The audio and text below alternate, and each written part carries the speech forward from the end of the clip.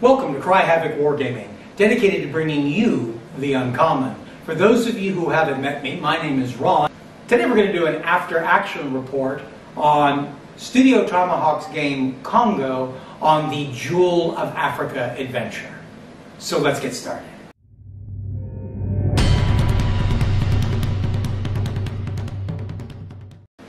Today, uh, myself and my friend Kerry, we're going to do a, a run through, a play of the game Congo, the Jewel of Africa adventure. This is a, a adventure using the Zanzibaris and the kingdoms of Africa, in my case, my Ngoni, where the uh, slavers, the Zanzibaris, have taken the princess of the kingdom, and the kingdom is endeavoring to try to save her. So um, let's go to the gaming table. Today, let us tell the story of Princess Ekoane, daughter of Chief Ukwatutu, chiefdom of Daruma, also known as the Jewel of Africa, who was kidnapped by slavers. She was forced to join one of their columns, making a forced march through the savannah, carrying their plunder of ivory, gold, and silver. The Zanzibaris used their newly acquired slaves as bears. However, the princess was much better treated than the others. Mad with anger, her father sent a troop of warriors after the caravan to rescue his daughter and punish those who dared flout his authority. That's the basic setup for today's game. The rules for the adventure, it's going to be in Savannah. It is dense cover. Uh, there will be an independent character, that being the Jewel of Africa or the princess herself. The, uh, there is a wild animal, this being Savannah, that will be a lion. Uh, there is exiting the table and entering the table. The map consists of um, a track straight across the middle of the board. It is marked in two places uh, at points uh, uh, A and B. Uh, the Zanzibari have to stay on the track for their first turn until they get uh, at least past that uh, first marker. They also cannot play the initiative three card in their first turn. The after that they can they've got a little bit more freedom to move around. Their goal being to get across the tabletop. That is one of the protagonists, of course, of the Zanzibaris, the perfidious kidnappers, it's called in this game. They are required to take uh, the traitor, who is uh, Iban Kazub, and in this case, they are also bringing the um, a slaver. Uh, both parties are about uh, uh, what was it, 82, 82 points. The uh, the other side, the rescue party, are my Ngoni. They are including the king and uh, a witch doctor. So we'll play with those roles for the first time. Uh, their job is, of course, to stop them. Now, this game has a number of special rules but beyond the ones I first mentioned in the normal uh, rules for the adventure list. Uh, the deployment, the Zanzibaris will begin at the table edge at what is called point A. The confusing thing about this game is they use three different points called point A.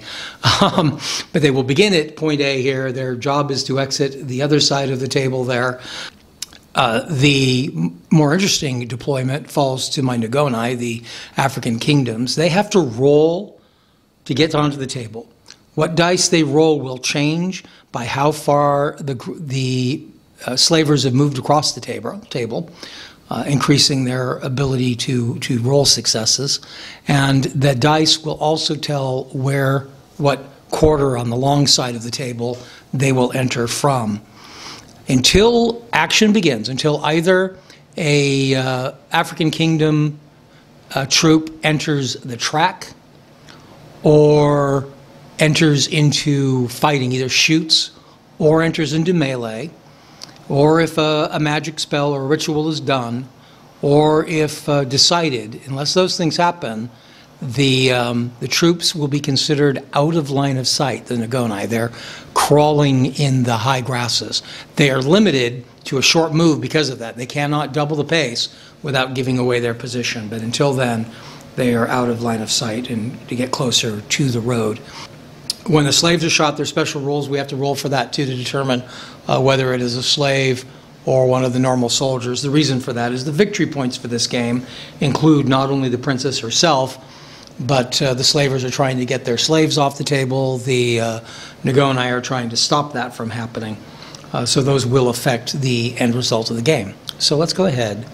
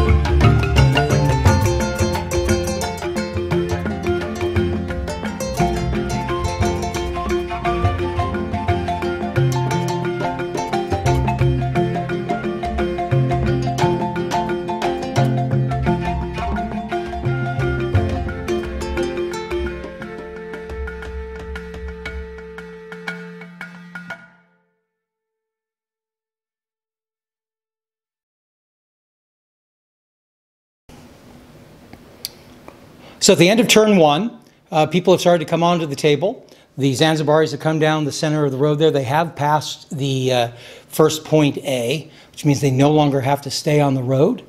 Uh, I have failed most of my rolls to bring anybody on, but I do have the elite warriors coming in with the um, witch doctor uh, coming in over there. I have the um, the married warriors and my uh, and my young warriors. The young warriors have been attacked with a terror, and they have received a stress roll, a stress marker of a combat. So that ends our turn one. We go into taking our totem cards for turn two.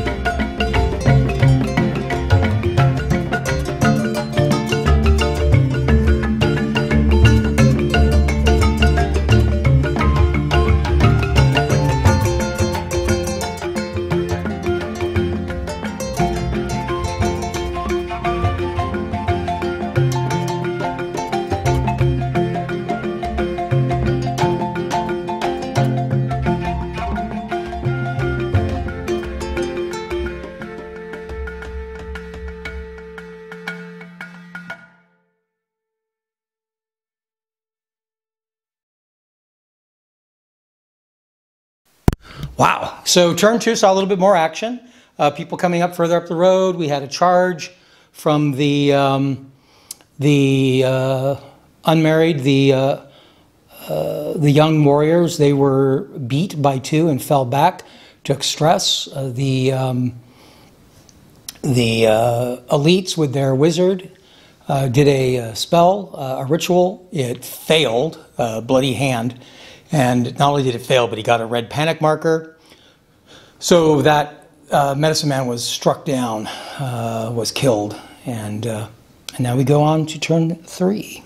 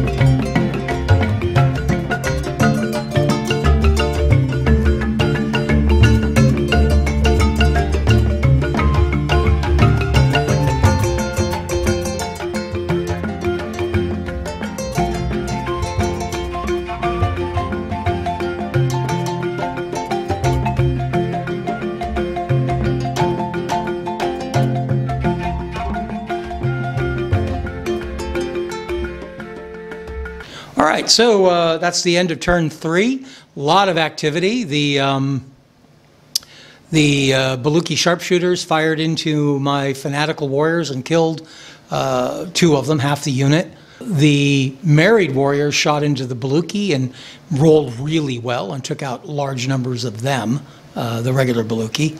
Uh, and uh, nobody's moved forward. Uh, a lion has appeared. There is a lion on the table now. And so we go to turn four.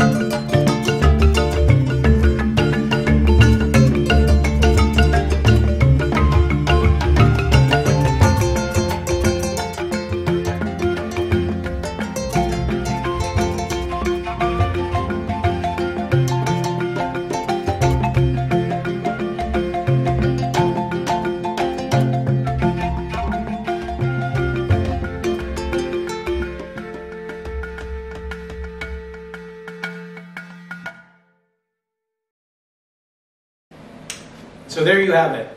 The perfidious slavers have escaped with the princess. Uh, the Ngoni have failed to save her. She's been taken off the board, and it is an overwhelming victory to the uh, Zanzibari.